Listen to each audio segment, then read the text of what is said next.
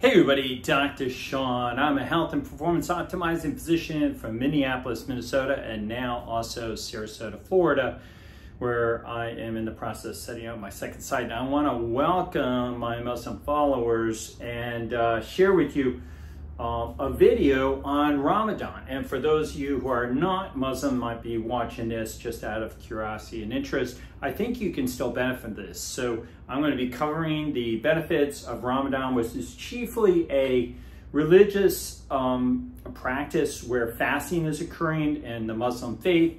And I have been asked to do um, a short video on the benefits of Ramadan uh, and the practice uh, uh, that it brings uh, by a Muslim follower and uh, who's uh, a friend of mine. He's actually a, a long-term follower and it's really helped me out a lot, give me advice along the way how to reach more people on social media. So let me just get into this and start exploring the benefits. So um, I was happy to do this and one of the reasons why I have to do is as a researcher looking at health and performance optimization, uh, I get an opportunity to look at cultures all over the world and histories. I'm fascinated by history of people all over the world. And I have got to share with you, I have a particular attraction uh, to uh, the Arab culture. And the reason I'm attracted to it is from a biological standpoint. And I uh, am particularly intrigued at the fact that they were largely uh, nomads, nomadic in this desert region. Um, there wasn't a lot of crops growing, grain and vegetables. Uh, largely, they were camel herders. And so they predominantly ate in the past a meat-based diet and they did uh, itinerant work. They were, they were nomadic, they roamed around and, uh, and so they from a lifestyle perspective, they lived a really healthy life. Now, for my vegan followers out there, vegetarians, hang with me, okay? Um, you know, there there's definite value to vegetables and plants, um, but uh, let's just say there weren't a lot for uh, the the for many centuries, thousands of years uh, in the Middle East because it just it, it did not have a lot of uh, uh, lend itself with environmental conditions for a lot of plants and grains and things like that. So uh, one of the, the key features I saw or I appreciate in uh, uh, in the Arab culture, and this is an Arab back in 19, 1913, I think is the year, uh, before the influence of the Western, you know, uh, culture getting involved in there with oil production things and uh, civilization or, or, whatever you want to call it, um, you know, beset upon that particular region. Um, they were Arabs back um, uh, uh, before all of you know civilization and influence of Western uh, Western culture. Um, they they had long, lean faces, very different from the faces of Arabs today, largely because of lifestyle. And the, the same thing is happening to Americans, but it's not as profound. Uh, I think the genetics uh, of our um, uh, Arab people are unique uh, based on their lifestyle. So I'm fascinated by them, and I paid a lot of attention to them when I was in the Middle East on, on different opportunities uh, to be over there. And this, uh, this individual has a very lean face, uh, very low inflammation. Uh, look how wide open their eyes are. You can see uh, almost the entire, the entire iris, you know, the color part of the eye. And all, all that white is showing. Their eyes are wide open. Who's got wide open eyes? Kids. Why do kids have wide open eyes? Um, it's because they're so healthy. Their mitochondria is so healthy. They just have a countenance, a gaze upon, upon them. And we see this in young people, not because they're young, but because of the absence of disease.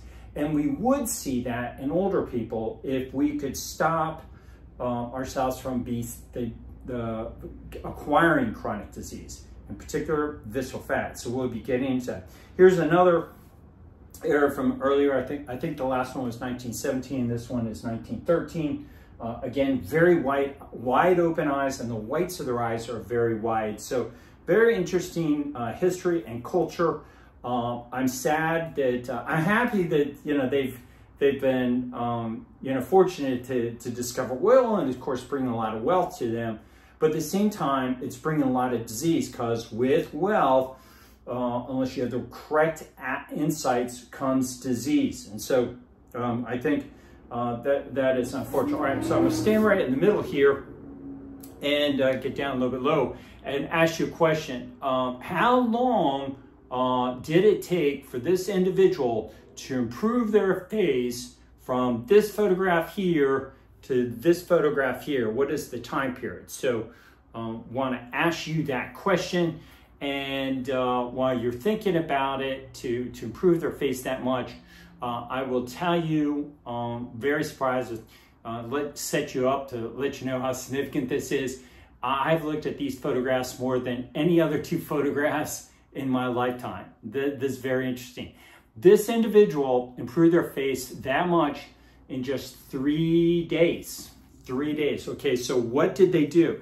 They fasted. So Ramadan is um, a opportunity, a religious practice in the Muslim faith, uh, largely a fasting where uh, Muslim believers fast from, from sunrise to sunset. They don't eat anything during that, that typically it's about a 12 hour period of time when it's, when it's happening. I suppose that changes based on where you are uh, in the planet from sunrise to sunset, but that's, that's what it is. So this individual here is a client of mine, improved his face that much. Now, if you're watching, you, I want to let you know, you're not going to improve your face this much in three days from just fasting um, if you got visceral fat. This guy improved his face. He's a client of mine this much because he did not have visceral fat. He got rid of his visceral fat, and that's why he had this extraordinary change.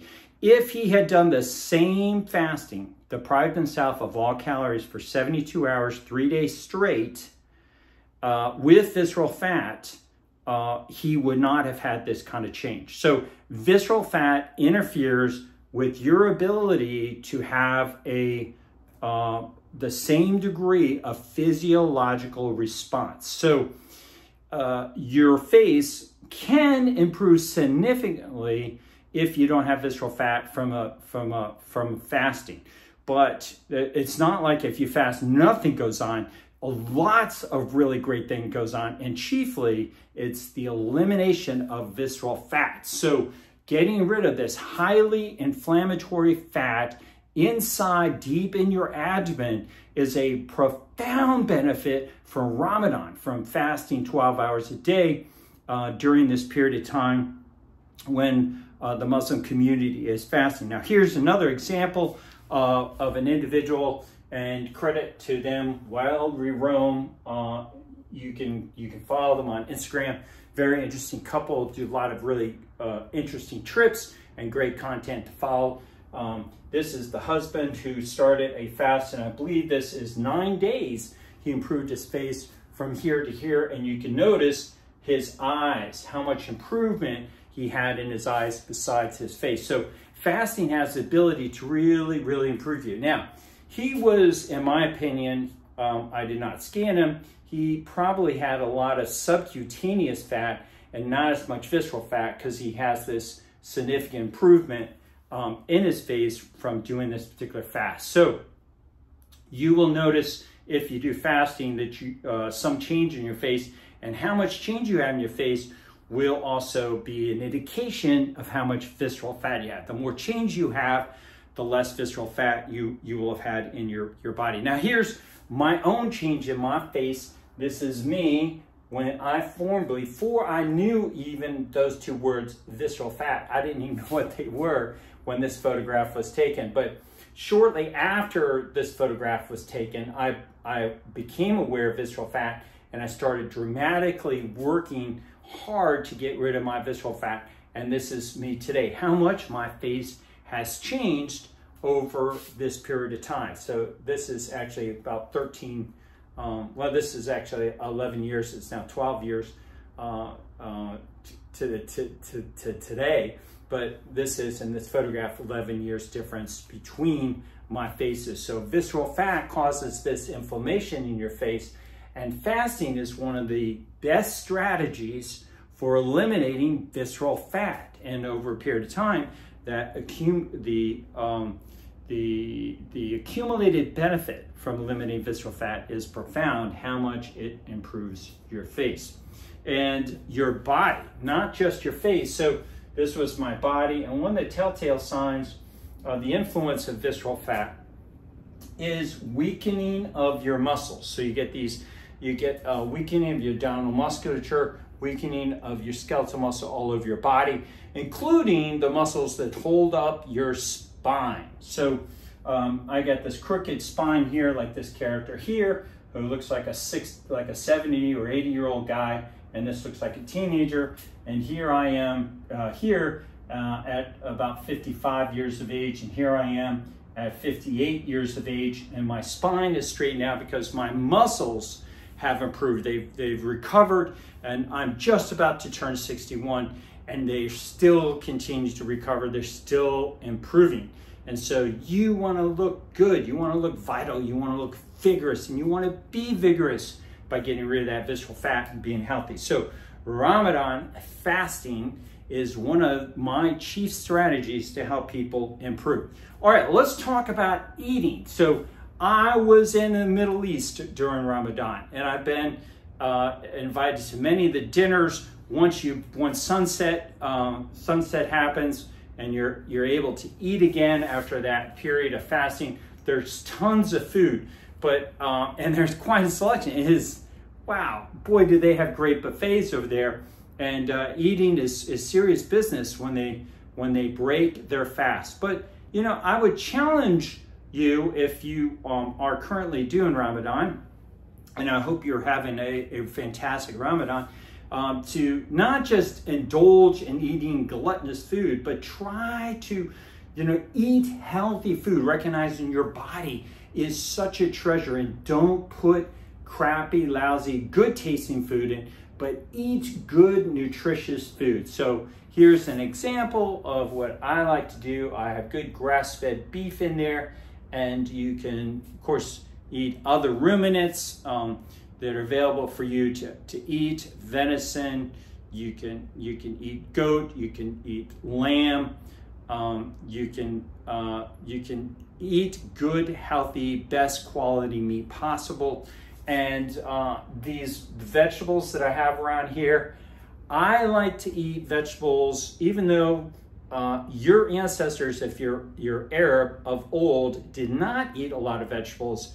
I do eat um, vegetables today and advocate them, but I only eat vegetables that have been fermented to reduce the exposures to oxalates and lectins and phthalates and um, these other substances that we're learning more about uh, that are present in vegetables and how they are eliminated when you ferment these vegetables. So uh, it basically pre preserves all the nutritional value, but eliminates some of these toxic effects that aren't going to kill you, but over a period of time, the trickle, trickle, trickle of these toxic micronutrients, microtoxins, um, do cause problems and concerns. And that's why we're seeing a lot of people getting benefits from the carnivore diet. So um, if you're somebody who's really unhealthy, uh, you could consider eliminating for a period of time vegetables and fruit and plants from your diet and try only eating uh, vegetables and fruit if they've been fermented, okay? The other benefit, even though there's less toxins, um, or no toxins really, uh, in fruit, there is carbohydrates and fructose, and I recommend eating fruit uh, when it's fermented. There are many people can eat fruit. They're not gonna be a problem.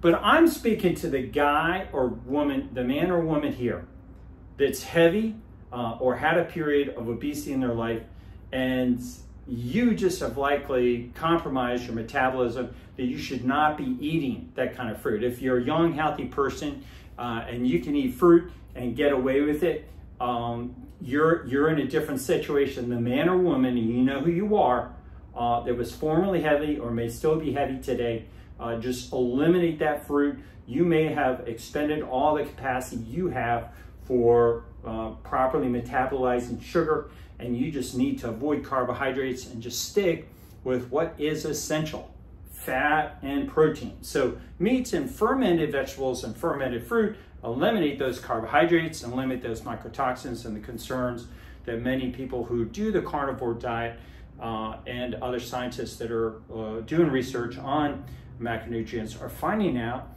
with regard to carbohydrates. So here are my fermented vegetables that in my kitchen. So consider eating good healthy meat and fermented vegetables and fruits while, uh, during your, uh, your Ramadan. Uh, and uh, if you are uh, not of a Muslim faith and you're going to be breaking your fast and you just want to do some extended fasting, uh, I would invite you to consider trying out and, and seeing what's going on. And the best way to tell what's going on is to uh, do an MRI. We'll be getting into that. But many uh, stores, uh, health food stores, food co-ops will have fermented vegetables and fermented foods uh, in a particular section. They'll always be refrigerated, which is a big clue if you see um, vegetables sitting on a shelf and they're not in refrigerated, that they're not fermented. And this is a chilled open shelf. And the other thing I'll tell you about is watch out for the light, because the light uh, interferes with those microbes inside of there. So I always reach in the back there and get those jars in the back because they'll have the more beneficial microbes uh, in it. All right, so I mentioned to you MRIs, and you should get an MRI. It would be very interesting uh, next time you do Ramadan to get an MRI before you fast uh, before the Ram before Ramadan starts, get an MRI after, so you can see the difference on the inside to what happens to your body.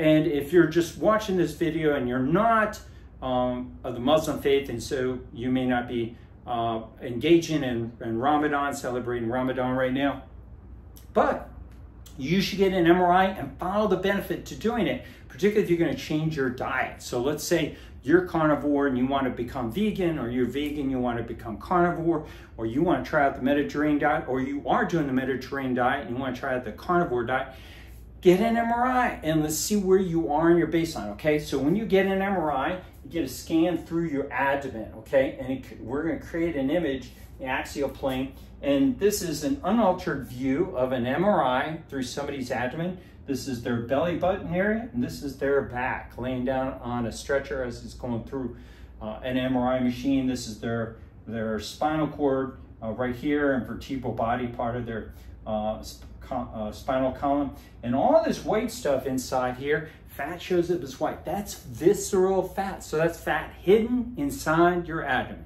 It's invisible obesity.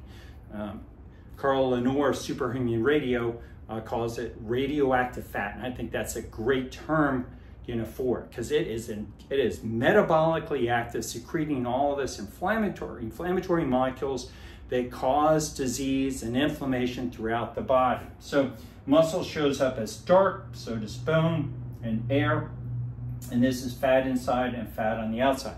But the fat on the inside is what is really inflammatory, and uh, there's also a particular type of fat um, that is on the outside that's really bad too, that's called deep subcutaneous fat, okay? So belly button, see that little area? Everybody's got a belly button, right?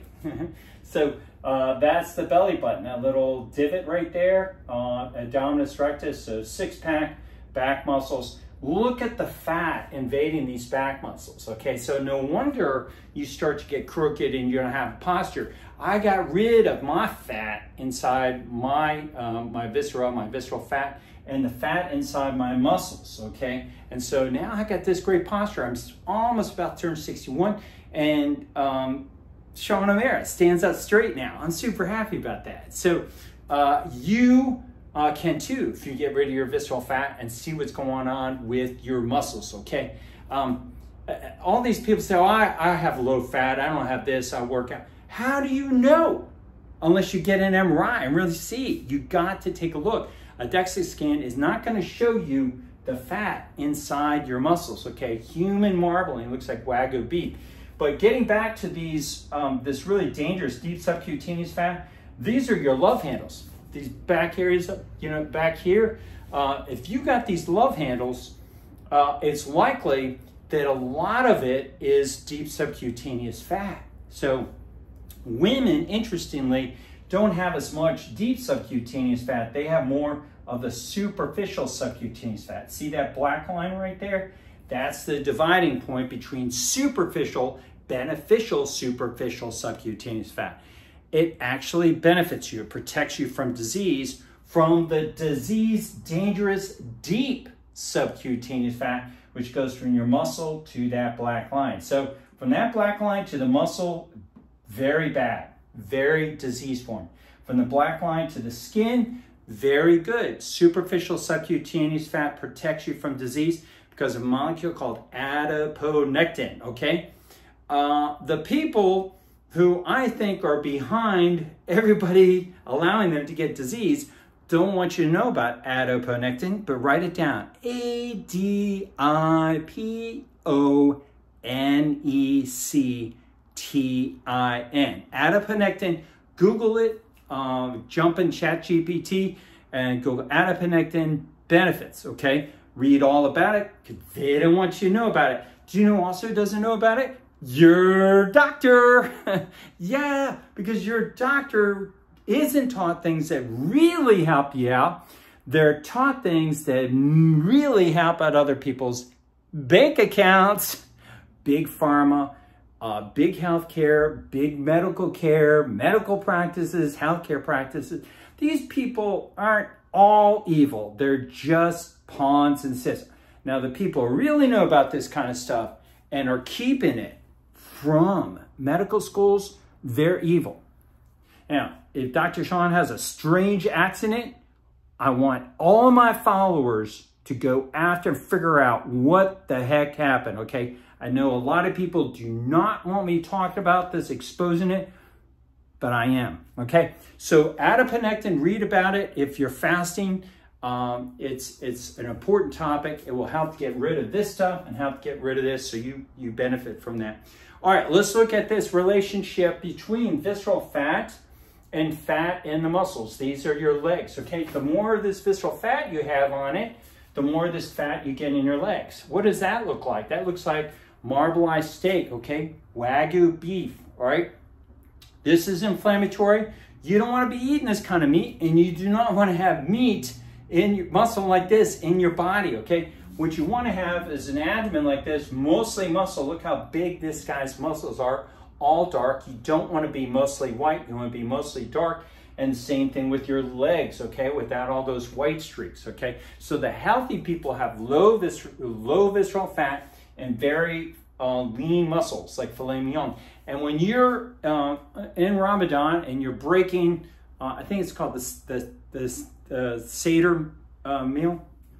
I, forget what it's called. Gosh, I've eaten a lot of them, probably a dozen of them. Um, you do not want to have those white streaks. You want to be eating meat uh, that's lean, you know, that does not have. Now, lots of fat on the side is fine. If that animal has chunks of fat on the, the side of it, but not in the muscle, that fat is good, okay? The healthier the animal, the, the healthier the fat is. But when the animal is not healthy, has a bunch of marbleization, those animals walk like humans with a lot of that. They're, they're just not healthy. They're burdened with disease. All right, let's take a look at uh, another um, Muslim friend that I have uh, compared to a uh, friend uh, American friend. So my Muslim friend from Bangladesh, uh, Asif, uh, is a great human being, uh, but Asif came from Bangladesh and Asif ate a lot of rice and bread. So do not eat a lot of rice and bread when you're uh, during Ramadan and you're, you're eating and you're breaking your, your fast because this is what forms inside you, all this white stuff. And uh, my friend Gabe um, is is mostly muscle inside him. He's got a modest amount of visceral fat, but he did not eat bread and, and rice like Asif did. Okay, so big difference uh, between their abdominal scans. So what you eat causes different types of responses inside your body. Well, let's look at Asif, not from his abdomen this way, but his abdomen this way, up and down, okay? So Asif, this is his abdomen, this is his back, this is F right there, see that? That's his foot. His head is up here. His abdomen is all this right here, kidney, stomach, a little bit of liver, uh, colon, small intestines, and all this white is visceral, inflammatory visceral fat. But right above his abdomen are his lungs, his chest. Uh, air shows up as dark. And right above his chest, right there in the center of his chest, is his heart. And look at that big chunk of inflammatory fat around his heart. Question, what do you got around your heart? Have you ever thought about it? Are you looking at that?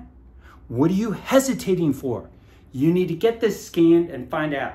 If you're able to uh, come to me, consider working with me. Your doctor is not going to know about this. Radiologists don't know about it. Only Dr. Anna Rosa is the only radiologist I know of in the world who's reading both visceral fat and this uh, other ectopic type of fat, fat around the heart and fat in the muscles now and deep subcutaneous fat. So uh, hopefully other doctors go to catch on and the more they catch on, the less likely they're going to try to kill me for getting this. I shouldn't laugh about that, by the way. Uh, I take it very seriously because this this is serious business. If you if we get our country healthy, get the world healthy, it's going to disrupt the economy because it's the largest part of our economy is disease, making money off disease. So um, we need to change that up. All right, take a look at the outside, how much the outside changes. Uh, another person I studied, uh, one of my clients, big belly, huge belly, okay? And in three months, uh, after working with me, uh, got their abdomen flat, eliminating visceral fat, but look at how they did it from the inside, okay? So uh, three month period of time, Ramadan, um, you can have these kind of changes and uh, not quite as much uh, during Ramadan, but you can. So lots of visceral fat, fat around uh, my client's heart, and look after three months how much that visceral fat in their abdomen was removed and fat around their heart. So I'm to just step out of the way so you can see that. And that is what can happen to you uh, during Ramadan if you eat healthy and you uh, are fasting during that particular, that, that particular time and you're taking care of your body. All right, so here are my strategies. Uh, if you've lasted this long in this video, you can take a screenshot of these strategies so you know this is what I recommend. I give this away free to become a healthier version uh, of your, your yourself. Uh, by doing these strategies, you can really benefit yourself. And uh, Ramadan is, is an amazing opportunity to do an amazing strategy, uh, fasting through the benefits of autophagy, where you clean up your, your house, you get rid of all the cellular debris uh, that is inside and accumulating in your body through autophagy through extended fasting. The more you fast, the more autophagy happens. So fasting is, is a great practice. You don't have to limit it just during Ramadan, uh, and you don't have to limit if you're Christian just during Lent, uh, which is the Christian version uh, kind of of Ramadan. And uh, you can, it's fasting is something you can benefit from uh, year round regularly and consider doing some extended fasting. All right, well, I hope you liked this video. If you did, give it a thumbs up, give me a like on it. Share it with other people that you know about, uh, that you care about, so that they have the benefits of also optimizing. And as always, please uh, ask questions, share comments uh, with me. I like to engage with my followers as much as possible and uh, and then I'm trying to spread spread the strategies how to reverse chronic disease as much as possible. You can help me by giving this a like and sharing it with other people and engaging in comments because that improves its attention on uh, in social media. All right, well, thank you very much. Uh, I hope you um, uh, enjoyed this video and I will look for you again on other biological health optimized videos. Dr. Sean out.